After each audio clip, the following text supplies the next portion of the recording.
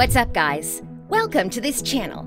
The much awaited iOS 14 Beta 4 is out. While the official version will be released in September, we can get to know it in advance. I got an iPhone X that's running on iOS 14 Beta 4.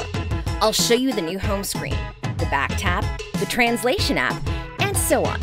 And finally, I'll show you how to install iOS 14 Beta 4 on your iPhone.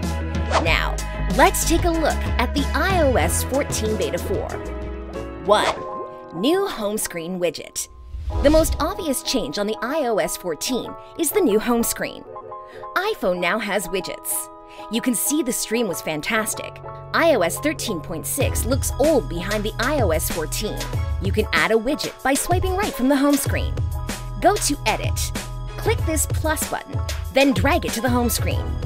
Here are some examples of widgets. This occupies 4 app icons. This occupies 8, 16. However, you still cannot put the apps anywhere you want. For example, there is no way to put the four important apps here. App Library. There's a new app library on iOS 14, which is like an app drawer containing all your apps. In other words, all the downloaded apps will be here, even if it's not on the desktop. You can also search the app by the alphabetical searchable list here. Actually, before this iOS 14, the apps you download will be placed on the desktop. If you want to remove one of them, one way is to delete it completely. The other way is to offload the app.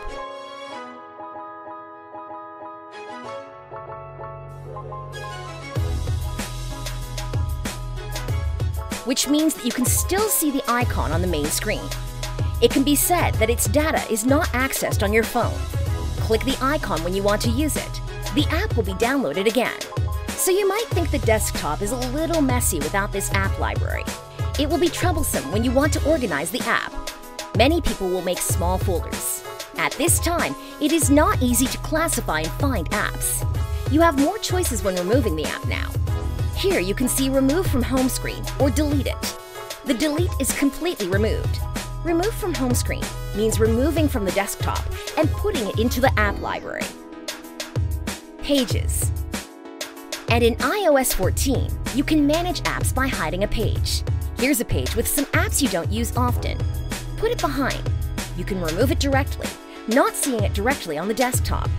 At the same time, the app will not be removed. It just stays in the app library. Smart Stack. Smart Stack is like Pages inside the Pages.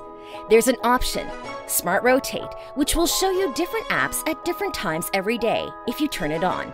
You can edit the stack, changing the order to choose the one showing on the top of the widget. Don't join the main screen.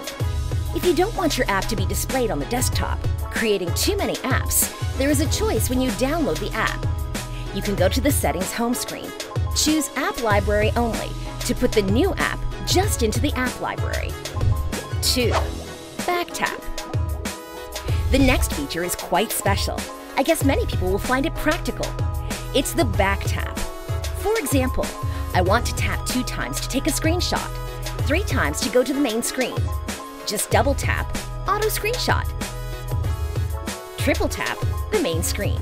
The way it senses is to use the sensor inside. It is quite accurate. You'll see, if I knock on the side, it will not take a screenshot. 3.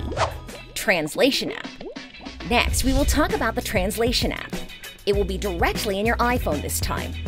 You can choose different languages. Translate directly on iPhone. You can turn on device mode. This part is not open by default.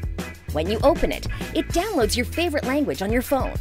And you don't have to worry about the content you translated may be seen. Your privacy will be protected. That means the function of the translation can be integrated into Safari to translate web pages directly. I guess more content and translation apps are supported at the official version. The data stored in you can be translated in many apps. There are more new functions like QR code reader, sound recognition, sleep mode, magnifier, hearing, and so on. If you are interested in this video, please leave a thumbs up so that we can know it and make more iOS 14 videos. We have talked so many advantages of iOS 14. So, how to install it on your iPhone? Here's the way. You will need a developer account first. go to https colon backslash backslash developer.apple.com backslash download backslash. Scroll down to the iOS 14 Beta 4. Choose Install. Then, go to Settings, Dash General, Dash Profiles.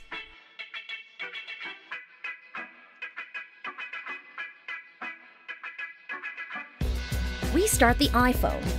You'll find there is an iOS 14 Beta 4 on the software update. Download it and install. Now you have an iPhone running on iOS 14 Beta 4. If your Apple ID is not a developer account, you will need to log out first, which requires the Apple ID password. And it also requires the screen lock password to protect your data. If you forget these passwords, iMyFone can always solve the problem for you, and it can perfectly work on iOS 14. Here is a 10% off coupon code, EDKGAL10, for iMyFone Lock Wiper. I will also leave it on the description. Please check if you need it. Thank you for watching this video. Don't forget to share, comment, and subscribe. I'll see you next time.